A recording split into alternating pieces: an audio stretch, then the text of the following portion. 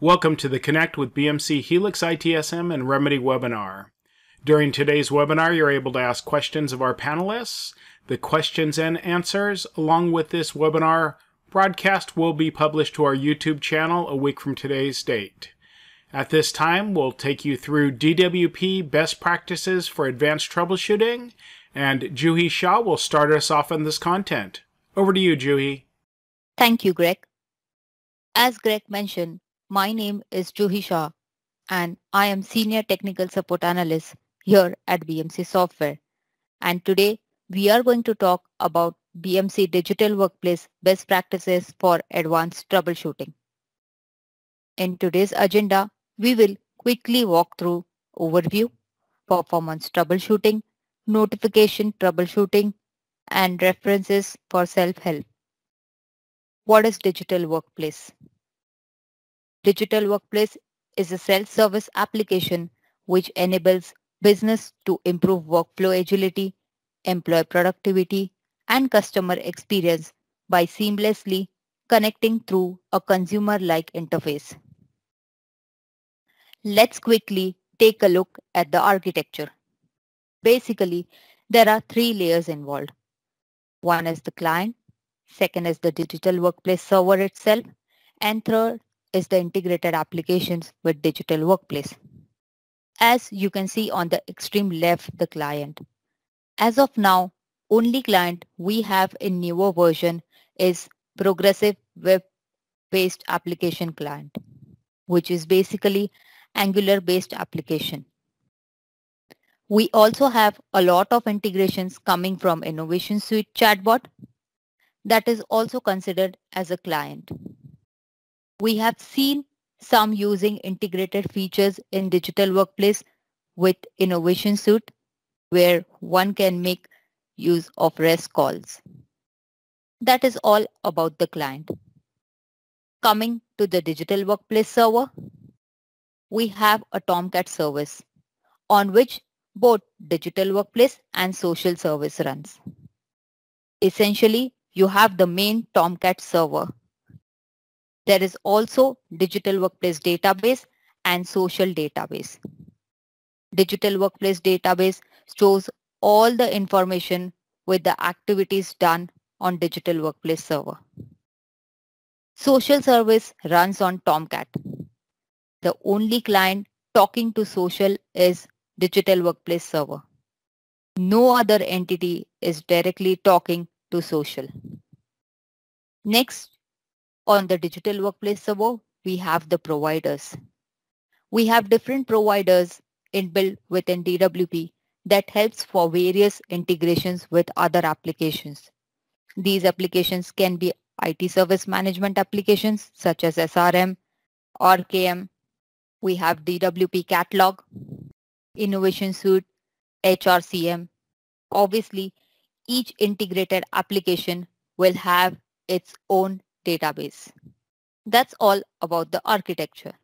Let's take a quick look at the key log files used for troubleshooting.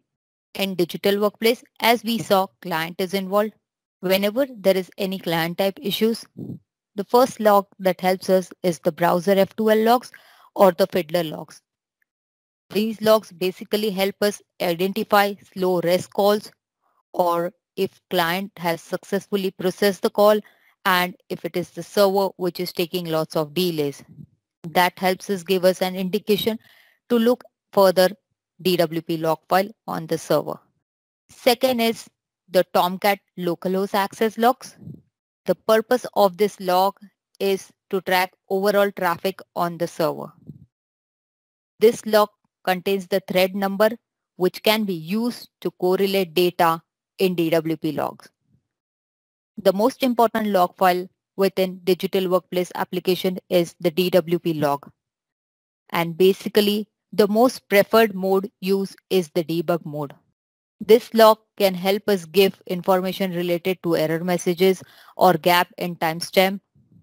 And if there is any issue with integrated application around workflows or different areas. Then we have digital workplace catalog bundle.log. The bundle.log resides on the Digital Workplace Catalog server and With the help of this log, we can check for relative error messages and failures, which in turn we can correlate the timestamps in dwp.log. If we have issues with the integrated applications such as ITSM, then we will have to look at API SQL filter logging that helps us look at long-running SQL calls as well as errors. As whenever we see issues with performance or other areas, most of the times we see issues are around the integrated application. Performance can happen at any of the layers, be it client, the DWP server itself, or the integrated application. DWP server is slow or integration is the bottleneck. We can help find that with the help of these logs. Digital workplace in itself does very few things. Only thing it does is sending notifications, service health, social features if used. Most of the time it's the integrated applications which are slow or it could be network related issues. Whenever there is performance issue, ITSM is running heavy load or put lot of heavy load on its database. Digital workplace is just a victim. So these logs will basically help us identify which area is causing trouble and correlate the timestamp. Last we have is the social tool log that can help us check errors or slow queries or trace information related to social activities like post, service health, notifications. Let's take a quick look at troubleshooting methodology. Whenever there is an issue related to performance, ask yourself few queries. How many number of users are affected? Is it applicable to specific users or a bunch of users? Were there any recent changes or is it affecting only the newly created users? What are the steps to reproduce? Is there any pattern that is being followed for the affected user? Were there any recent changes done to the environment? Example, a fix or a patch that has been applied or if there have been any patching updates with the OS level. Does the issue impact other applications? Example, integrated applications that is ITSM. Is this issue reproducible in lower environment? As that helps us to pick logs from the lower server and trace the information. Whenever we have server group setup, that is we have multiple digital workplace server, it's preferred that we bring one of the digital workplace server outside the server group and we point that server to the remedy server itself that is update the database table pointing to that remedy server and take the logs just from that specific server. That makes it pretty easy for troubleshooting. Else we'll have to capture the logs from all the servers. Let's see quickly performance issue and the recommendations. There are few common scenarios we've observed when performance issues are observed. Like earlier I mentioned, sometimes the issue could be on the digital workplace server itself. It could function slow. The possible cause is there is too much load on the server and recommendation is to increase max thread. Default is 200. We can increase these threads in server.xml file. Sometimes digital workplace calls are slow and do not complete. It's observed that the connection between digital workplace and digital workplace catalog are overloaded. In such scenarios, we recommend to increase the value of max total and max per route in connect hyphen DWP properties file. Default is 50. We have seen few performance issues around the active and the inactive events, which basically makes all the calls go slow. And these calls are related to approvals. The approval calls in ITSM are too long. In such scenarios, we can check what are the long running queries and if we can tune the same or we can archive approval data or we can increase the search parameter in SRM provider.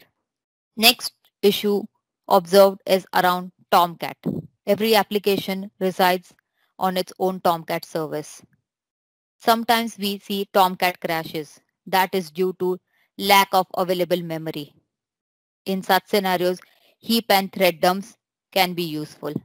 We can also take a look at basic configuration checklist. That is, Digital Workplace communicates with Remedy ITSM server, which is the area where it looks for that integration checkpoint. It's basically the configuration parameter table in Digital Workplace Business Schema. One needs to check if the AR system name, port, and the password is correct. We also need to make sure that the ITSM integration patch has been installed on the Remedy server. To confirm this, we can check if all the MyIT related workflows are present in the Developer Studio.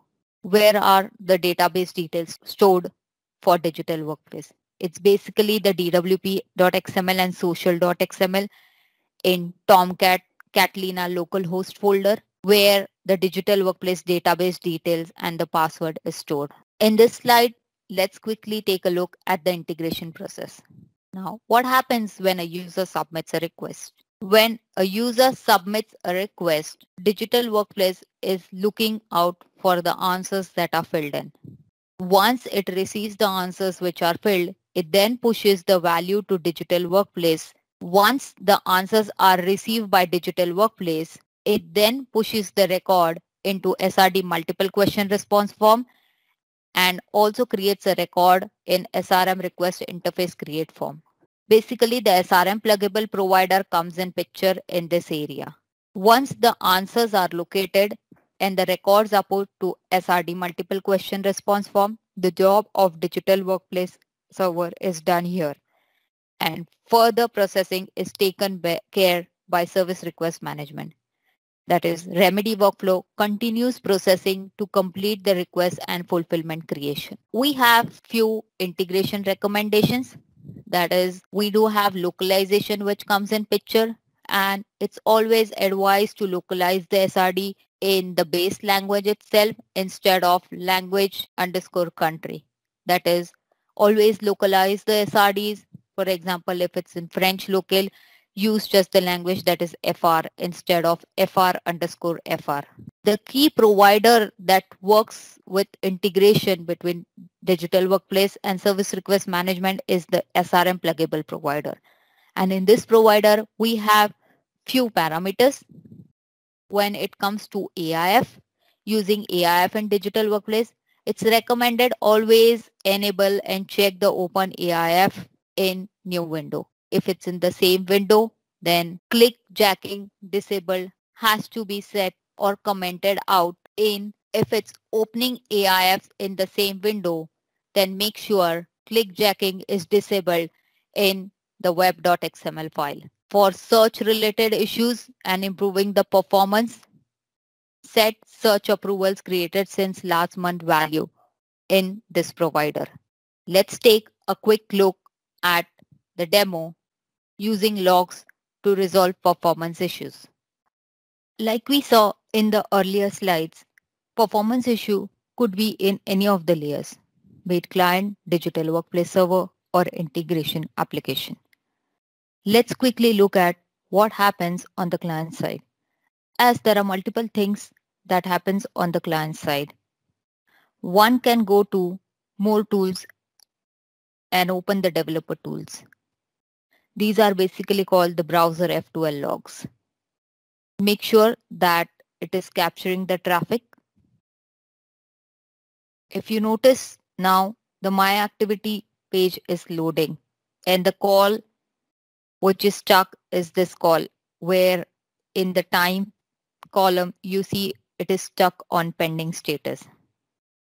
So this is basically the call which is eventually taking some time for the page to load.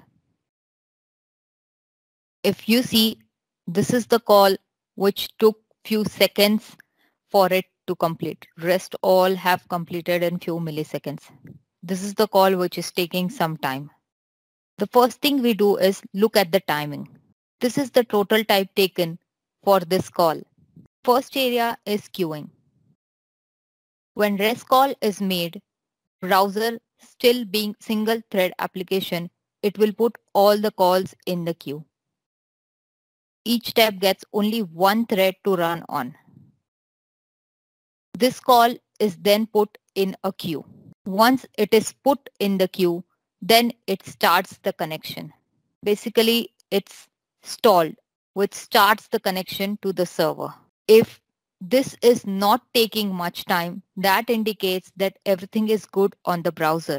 And next is to look at the DWP log file. Waiting is something which relates to time taken by the server in the backend. So if you see, it's the server in the backend which is taking a long time and hence we look at the dwp.log. What is content download? Content download is what server did at the backend and this can be seen in headers tab in the response. That is this. So typical use case when client is a problem, you'll see queuing takes time. It takes close to 10 to 15 seconds.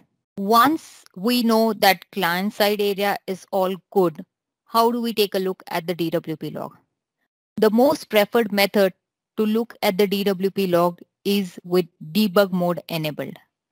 One can now enable the debug mode from DWP admin console itself by going to the admin console, click on logging and set the log level to debug. If you see here it is currently set to debug, there are various other options.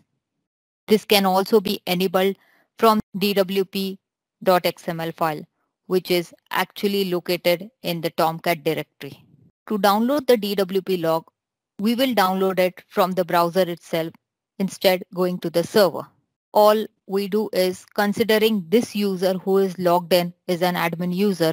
If you see inside these log folders, these are the different types of logs and the most important log is the DWP log, which we are going to download it from here. In the DWP log, we can look for traces. Best way to troubleshoot API calls is reviewing this log file. Search for events or calls. For example, we saw active events was taking time for the page to load. What all information is present in the DWP log? In this log file, we'll basically see the timestamp, the thread ID, the request ID, OP ID is the operation ID. Essentially, each REST call could set operation ID to track the whole request down. Best way to troubleshoot API calls is reviewing this dwp.log file. One can search for events or calls or look for error messages or if it's specific related to approval, search for those keywords in this log file. In the example, we saw the events call took some time. We can search with forward slash events. Here we can check for the timing and find out which call took a longer time. In few cases, we have seen that loading of approval takes time. Search for approval and find out the approval transaction. Once we have that transaction ID, we can look at the server-side API SQL filter logs to see which is the longest running query.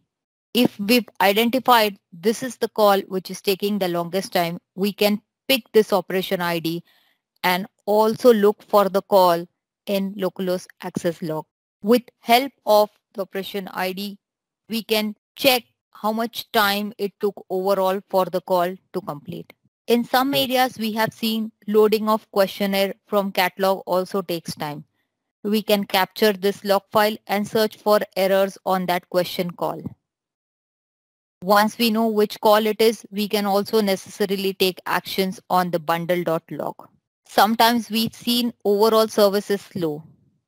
In that case, problem may be with Tomcat. Means it has too many requests to handle. What one can do is look at the connector info in Tomcat server.xml file. Max thread should be either 1500 or 2000. If it is not present, then there will be only 200 requests running on the server. If there are many concurrent users, it will get queued up. So basically, these are the common areas we can look at that helps us troubleshoot performance related areas. Let's take a quick look at the social.xml and dwp.xml file, which stores information related to database. Sometimes there could also be issues related to database and those that information can be figured out from social.xml file and dwp.xml file. When we have performance issues related to approval areas, a quick workaround would be go to the SRM pluggable provider and set the value search approvals created since months to 6. This will basically capture all the information for the past 6 months. That's all we have on the performance area. Over to you, Jeff. Thanks, Juhi. So we're going to cover some notification troubleshooting steps that can hopefully help resolve issues that you may come across with the various types of notifications in DWP. So on this screen, we just see some of the notification types, the in-app, email, and push, which would be for a mobile device, and the key components. We're going to talk about them further. Uh, the notification poller, configuration files, and user preferences. So here's a diagram that kind of shows how the notification poller process works in DWP. So some of the key items on here, it waits for 300 seconds in between each run, and that's the default poller cycle.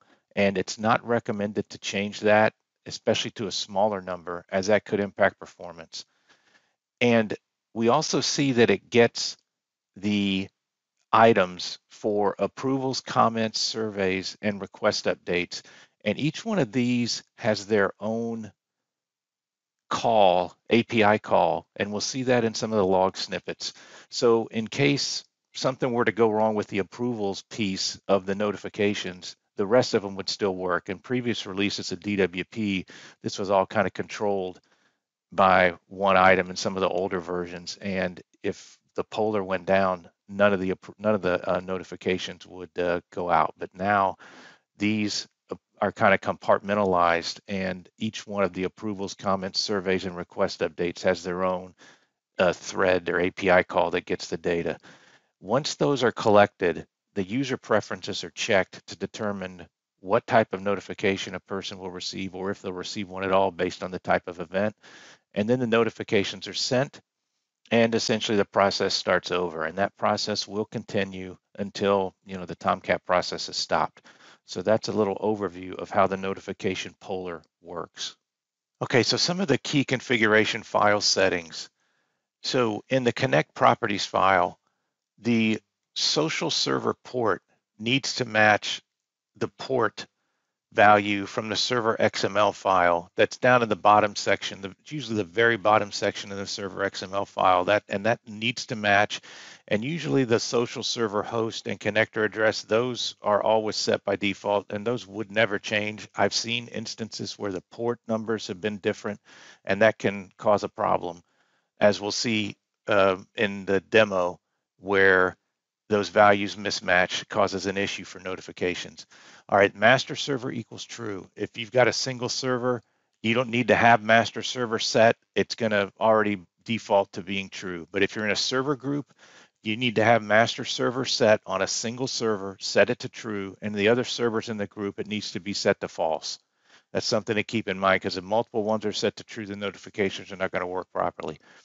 All right, we just saw the diagram on the notification poller. Obviously that enabled needs to be set to true.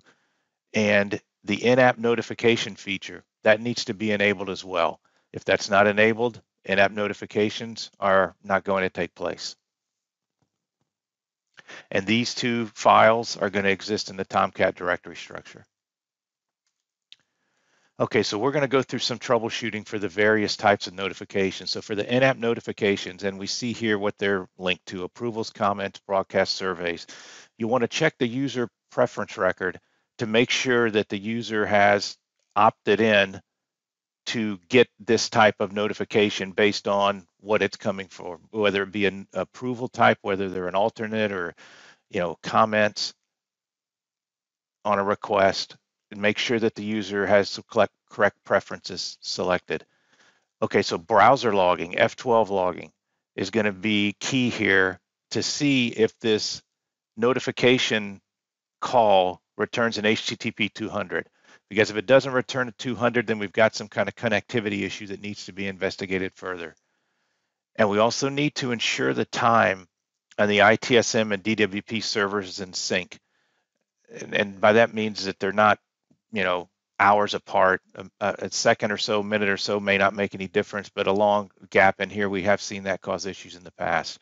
So if those don't provide anything, we'll always want to check the DWP log and Social 2 log for error messages on notification calls.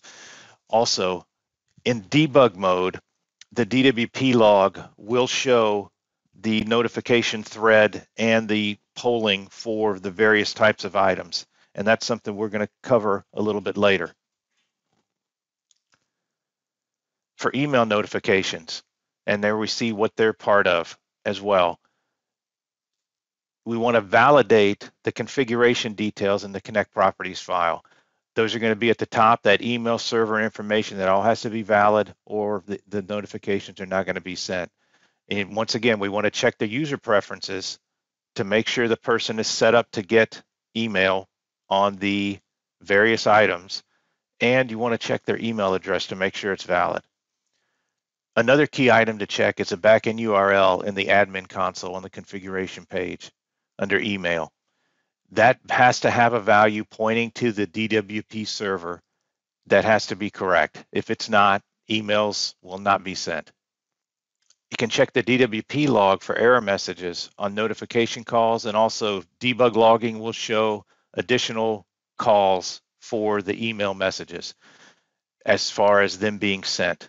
And we'll see a, a screenshot capture of one of those here in a little bit.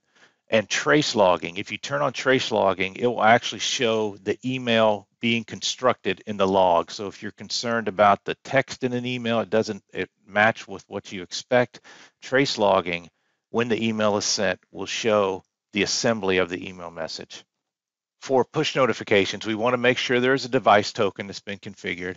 We also want to once again check user preferences and you can check the DWP log for calls containing APNS, which is short for Apple Push Notification Service, to see if there are any issues with those. And as of the 31st of March of this year, we're not going to support the legacy binary protocol. And I think if you upgrade to at least DWP 2002, I believe it's 01 or 02, you'll be covered there. So if that's something that you make use of, you need to make sure and upgrade prior to March 31st of this year. All right, so here are some of the key items that you could look for in a DWP log, and most of these are going to be occurring, like I mentioned before, when you're in debug mode. So for the surveys, this is one of the pollers, I guess you call it, for the surveys, and we see that it's going to retrieve surveys created since essentially the last timestamp that the poller ran. And, it, and that's another thing that could be done in the logging as well kind of like in an ITSM log where you can pull out items by thread ID and the RPC ID. We see here in this log next to the timestamp on the left, there's a notification dash 18.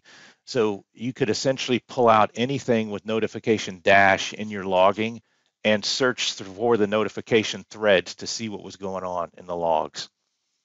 Okay, so here is the email that is sent. As I mentioned, trace logging will show the email itself getting constructed, but this is the subject and the address sent to. So in this snippet here, we see the subject line and we see the user that was sent to. So if you wanted to check if somebody's email address was correct, you could just, you'd see it here in the log if you had debug turned on, in addition to checking it in DWP itself. So some additional ones for the approvals. Okay, so this IAM approval service processes approvals generated since the last polling cycle. So essentially it's searching for approvals that have been approved. It says since a certain time. So essentially that's going to run, you know, every time the, the notification poller runs, it's going to check for approvals. And then we see that this is going to post them, the approval creation publisher is going to post those to the in-app notifications. And we see there that it's processing the service request approval notifications. All right, now we're going to do a demo where we use logs to help resolve in-app and email notification issues.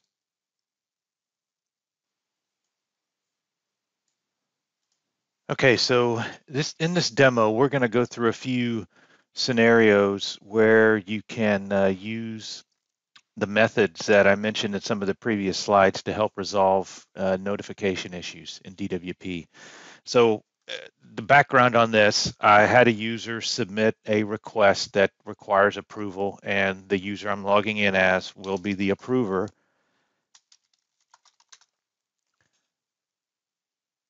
And here's the request here. It's this 534, but I don't see a bell notification for it, an in-app notification for it. So I turned on F12. That was something I had mentioned in one of the previous slides, and we wanted to look for the activity stream on the notifications. And there's our notification item in the network tab, and we see that it got back a 500. So that clearly tells us there was some sort of a problem with it. So if I drill into that and we look at the response, it says look at the application error logs for details. And it says the server encountered an internal error, error connection problem. Okay, so first thing that I would do then is we can go check out the DWP log file. And I have that in debug mode. And if we for something like that, I would probably search for error.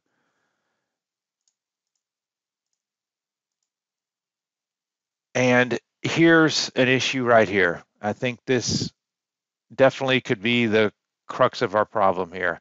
It says connection refused to connect to 9002, which is our social uh, port and notification. So basically, we're not going to get any notifications email and app otherwise based on this refuse to connect.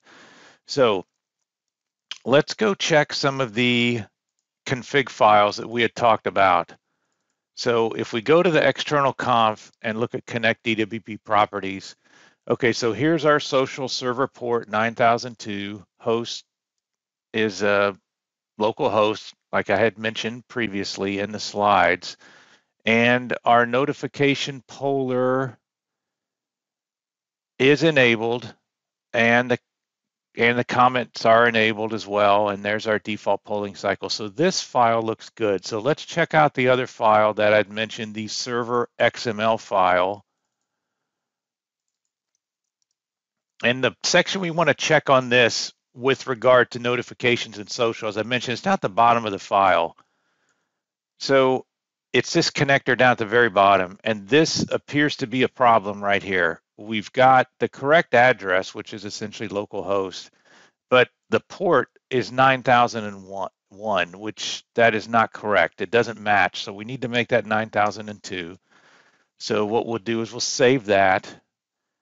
And then I'm going to go ahead and restart Tomcat process.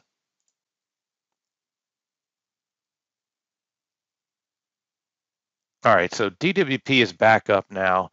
Let's clear our F12 page there, F12 logging, and log back in again. Let's type this password. And we see that we have our bell notifications are appearing there again, which is a good sign. And the notifications call did return a 200. So that so that takes care of that one scenario where the config file values impacted notifications uh, from appearing. Okay, so now that that's been corrected, I just, as that other user, uh, submitted another request that needs approval. Okay, so we see the approval here in active events, and we see it in the in the in-app notifications. If I check my email notifications, I've got it there as well. So basically all the notifications came through when that uh, port number was resolved. So if we want to go back in the log here and look at some of the pieces that I had mentioned in the slides, we can find those real quick.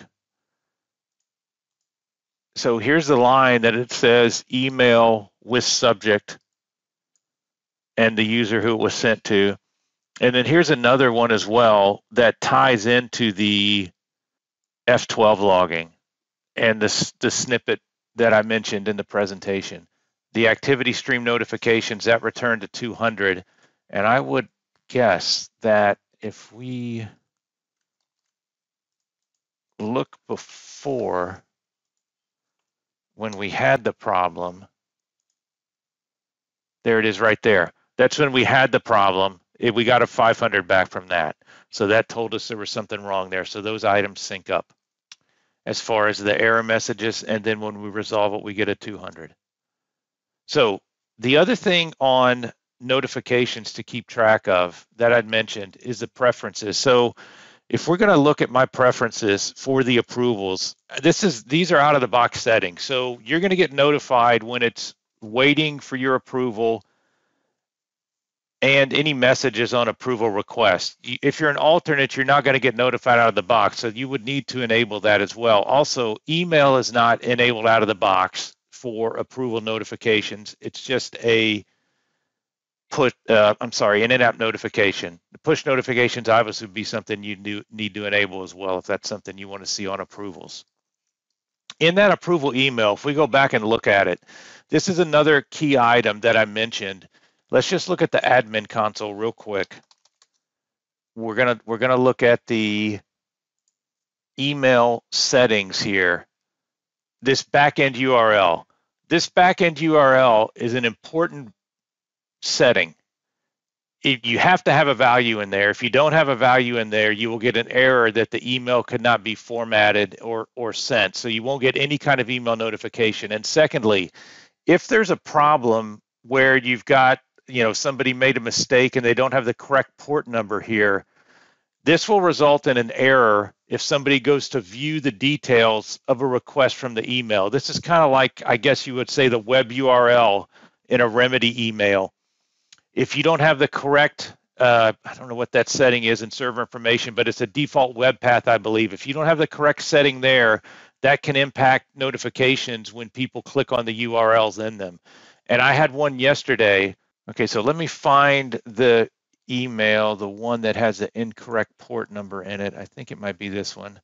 Yeah, this has an incorrect port that I, I entered incorrectly on purpose just to show the example of what would happen. So if, if, if you've got a bad value in that web URL in DWP in the backend URL, and somebody clicks view details on this request, you will see I've got a port number there that's incorrect.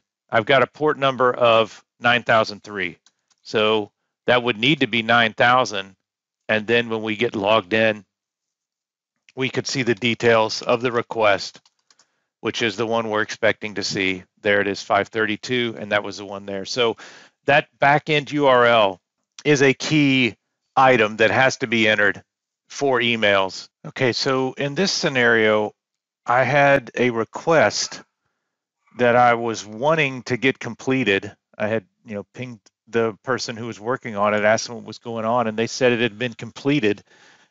And I didn't get notified of that completion. So if I come here, it is this request. It definitely got completed, but I didn't get notified that it got completed. I don't have a status change or any kind of in-app notification letting me know that it got completed. So we know now that the notifications are working since we resolved it for the other issues. So the, the, other, the, the main thing we want to do here is check preferences because there's preferences for various settings. We talked about approvals and for requests, I don't have the completed box checked. So that's the reason why I didn't get notified on that completion. So also another thing we might want to check here as well is just to, this information is stored in the database. So essentially, if we come in and look at the user preferences table, there's a PK value, which is essentially like an ID value, and it's tied to each ID. So I believe Alan is his user login ID is Alan. Where is it? Right there. And so he's on the first row. So his PK is one. So if we come into this the table business notification preferences and we would look for user preferences PK all the values of one and if we look at request completed let me refresh this because that's a stale view of that, I believe, based on what we're seeing here. Yes, we see that request completed is set to false, which means that it's not enabled and I'm not going to get those. So then let's go ahead and turn these back on and we can just check the database again real quick. And now we see completed is true. So I don't believe I'm going to get it for that request that because the action already has taken place on that one. So see if I have another one here. We'll have the user complete another request. And this is for five request 522. I'm going to go ahead and have this user complete it. Okay, so for the status change events, there is not an in-app notification for that. So I incorrectly clicked on that earlier. We're not going to see one for the request status change. And that's where that one page I mentioned that the documentation is nice to see because it gives you a, a depiction of what event is going to trigger what type of notification. So for the completed status update, I should be checking for an email now that we've enabled that one. I didn't get it on this request 528, but I should get one. And there we see it. It's right there on request 522. We now have the status completed. And this is the page I was talking about right here. We see the, the depiction of what type of event triggers what type of notification. So that's a very handy page to have. All right, now that the demo is done, let's move on. So we've got troubleshooting guides for DWP. And as you see here, they're going to be on the main documentation page on the left-hand side. There'll be a troubleshooting tab. And underneath that, there'll be various guides for many different scenarios in DWP where we have items in there to help you troubleshoot your own issues. So let's look at a few troubleshooting scenarios. Okay, so this one kind of goes along with what we're seeing here. The in-app notifications are not being received by users. So there is an error in the social 2 log, and it says it can't parse a notification with a certain PK value. So the cause of this is a PK values are out of sequence in the S2 DB tables. Now, PK value is kind of like the next ID value in Remedy. So I've seen this before where databases have been restored. Uh, various other, usually don't see this on a new install. It would be a, a usually a restore thing where the database restore caused these PK values to get out of sync. So we have a knowledge article on that, and we need to use SQL queries to reset those max PK values so that when the insert tries to insert them to the social database, they're successful. And once those get resolved, the in-app notifications will be received. Okay, so here's another issue where we have AIFs not opening in DWP and you're getting a connection refused. This is usually occurring when you have the AIF set to open in the same window. And the cause is that the clickjacking is enabled in the web.xml. So there's no setting for it in the file. So if it's not in there, it's set to, it's turned on. So I came across this recently where someone had upgraded the mid-tier and the mid-tier backed up the original web XML and put a default one down. So the clickjacking setting was in, a, in essence turned on. So we had to go disable it again. And we have a knowledge article out there on what you do to update the web XML to disable clickjacking so that the AIFs will open up in the same window in DWP. Okay, so here are some key references. We have our our link to the troubleshooting guides, which I mentioned before. And there's a knowledge article here as well on troubleshooting all types of notification issues within DWP, which covers some of the information that we've talked about here. And we also have an advanced troubleshooting knowledge article for DWP in general that talks about logs, config files, and various other items to help you resolve your own issues with DWP. And a key documentation page is a status update and notification configuration page.